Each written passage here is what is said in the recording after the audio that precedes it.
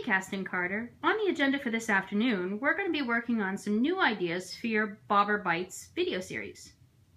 Okay, now that I'm a big businessman, can I use big words like brainstorming? Wow, now that you're a big businessman, sure, I can use big business words like brainstorming. So, Casting Carter, on the agenda for this afternoon, let's brainstorm some new ideas for the Bobber Bites fishing series. Okay, I have one more question. What's an agenda?